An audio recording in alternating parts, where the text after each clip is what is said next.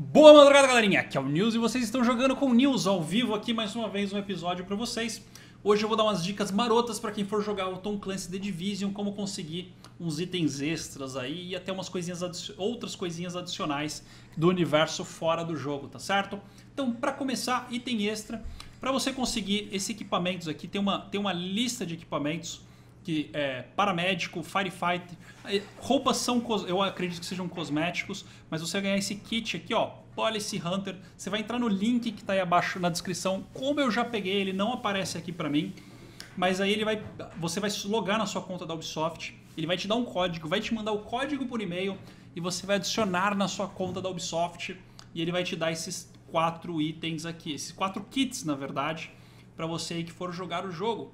Lembrando que o beta começa agora dia 29, você pode se inscrever pelo próprio site aí do link, se inscreva no beta, você pode convidar seus amigos.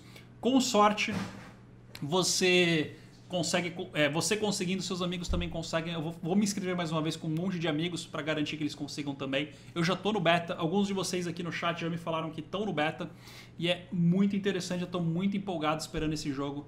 Espero que seja um RPG de tiro. Espero que seja tão bom quanto o Defiance. Eu gostei bastante de jogar o Defiance. E, aliás, eu espero que seja melhor que o Defiance, mas vamos lá. Eles já estão um tempão fazendo esse jogo, eu já estou numa expectativa bem grande. Espero que seja muito bom para não me frustrar muito. E aí depois tem esse outro link aqui que eu te mando. É tipo uma um battle log assim do The Division. Eu não podia usar battle log porque provavelmente a Ubisoft vai ficar triste de eu fazer comparação com a Electronic Arts, enfim. Vamos lá. O que, que, é o bacana disso aqui? Tem algumas coisas que você pode fazer, algumas tranqueiras. É o seu perfil de agente, você vai liberando até umas conquistas aqui. Tem o Community Hub que você vê notícias e fotinhos no Instagram. Redemption. Aqui, ó, Redemption que eu tava te mostrando. Redeem Now. E aí a gente vai lá pro para outra paradinha. Aí depois eu volto aqui. Ah, resgate seu código para a versão beta. Não, isso aqui é para... Enfim, vamos lá. Você vai entrar aqui em missões disponíveis e aí vai ter algumas missões. Por enquanto algumas estão bloqueadas, mas nós temos aqui a missão pessoa de interesse, que você libera a primeira pessoa. Você vai responder uma série de perguntas, são perguntinhas simples assim, mas só para saber qual é seu perfil.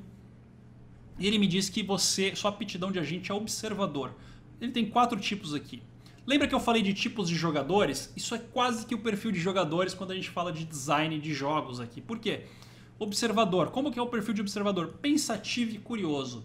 Quando os outros atiram primeiro, o agente observador pergunta: Cara, isso eu já falei para todo mundo.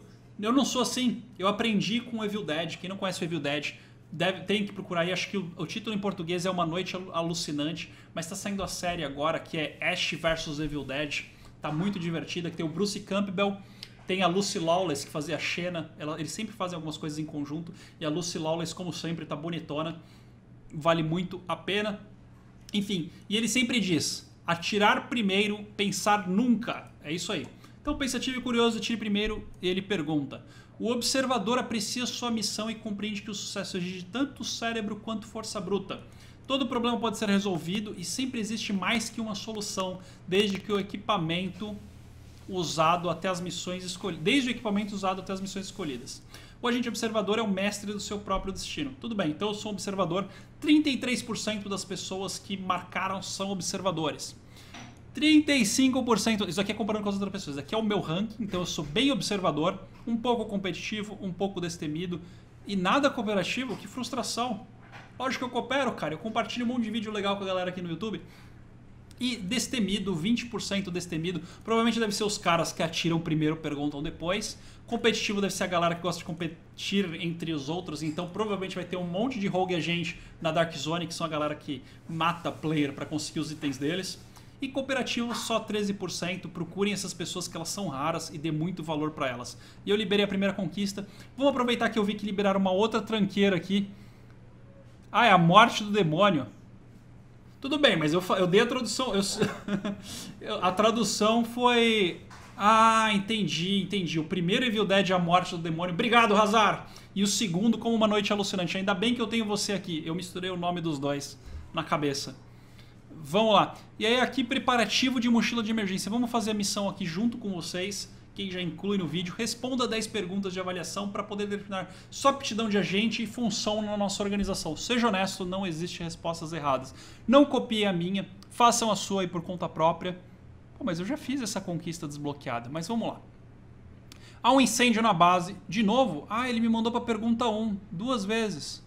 Essa é a 1, eu já fiz a 1. Equipamento. Eu pego equipamento adicional guardado no armário, eu pego as informações de inteligência para saber a localização de, de... Eu vou dar as respostas que eu dei. Uh, como você salvará uma cidade mergulhada no caos? Uh, plano esperto. Um assaltante aponta uma pistola para a cabeça de um refém. Neutralizo ou negocio? Cara, isso aqui depende muito da situação, de como está apontada a pistola, de como está a situação, se ele está em condições de conversar, por isso que isso depende. Isso depende muito da situação. Atira na cabeça, certeza, e. Enfim. Mas às vezes você pode usar ambas. Você pode come começar a negociar, tirar a atenção do cara do refém e nesse momento você pede para um franco atirador sentar a bala. Mas eu coloco negocio porque só tem essas duas opções. Eu prefiro tentar, não sei o motivo do cara de botar a arma no outro, mas enfim, vamos lá. Você está em fuga dentro de um território inimigo, mas sua saída está trancada. O que você faz? Eu forço o meu caminho. Uma coisa é você atirar na tranca, outra coisa, é isso aqui também, depende muito. Você tá, ó, você tá em fuga. Os caras estão te vendo? Se eu tiver na manha, eu vou arrombar a tranca numa boa sem chamar atenção. Senão arregaça, arregaça, enfia o pé na parede, enfia o pé na porta, rebenta com, com o tiro de fuzil, o que der ali na hora, o importante é você fugir. Depois de estocar o essencial, qual é o último item a ser colocado na mochila? Explosivos ou primeiros socorros? Cara, se os primeiros socorros não forem os primeiros, então eles serão os últimos. Então eu vou colocar primeiros socorros aqui, porque, poxa vida, é melhor manter a galera viva. Você, a não ser que eu esteja indo para explodir alguma coisa. Você se depara com um grupo fortemente armado andando pelas ruas, carrega munições e armas. O que, que você faz? Me junto a eles, eu nem sei se eles vão me aceitar. Eu interrogo, não é interessante. Confronto o grupo, menos interessante ainda. Eu vou seguir o grupo, entender o que eles estão fazendo. Eu não sei se o cara. Depende do que eu quero fazer, mas eu acho melhor seguir o grupo de, de forma segura, enfim. Eu sou o melhor quando faço parte de uma equipe. Concordo completamente. Fazer parte de uma equipe. Vamos lá. Quanto mais difícil o caminho, maior a recompensa. Não, falso. O caminho difícil nem necessariamente quer dizer que a recompensa é boa. Discordo completamente. Nada é melhor que um bom combate. Não, discordo completamente. Combate é sempre a última opção. Até falando em lutas, essas coisas, artes marciais, o combate é sempre a última opção. A não ser artes marciais, o combate é a única opção que você tem, mas enfim. É, tudo que eu tenho é personalizado. Você pode dar aula também, mas enfim.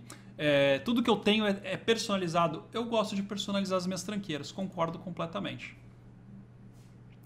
E aí encerrou de novo o observador, mas é uma puta sacanagem, porque eu não cliquei no a missão completada, iniciar missão. E ele tá mandando para me, a mesma missão. Então provavelmente deu algum bug no site deles e eu achei que ia fazer junto com vocês. Então, galera, hoje vocês já liberaram os esqueminhas aí pro jogo e também liberaram os itens marotos. Cadê os itens marotos? Como que eu descobri esses itens? Tem uns videozinhos no YouTube que a galera fez. São quatro vídeos da história total. A escapada é um deles, é, é um dos principais, porque fala de todos os personagens. Mas deixa eu abrir aqui no YouTube, porque também tem outros vídeos. Aqui, ó, tem vários episódios, ó. Esses aqui são os outros episódios que tem. Então você tem a escapada, você tem o Ashes, você, eu não lembro o nome dos outros, mas tem aqui o link de todos os de todos os episódios para vocês assistirem. É um pouquinho sobre o universo para você já começar a imersão, tá certo? Espero tê-los ajudado a ganhar os itens marotos ou até se inscrever para o beta. Não se esqueçam de se inscrever para o beta. Eu vou aproveitar e me inscrever aqui e vou dar todo o e-mail dos meus amigos, porque quem sabe numa dessas eles também conseguem juntar. Já que eu tenho beta, talvez eles consigam também, tá certo? Galera, muito obrigado pela sua audiência. Aquele abraço, fui!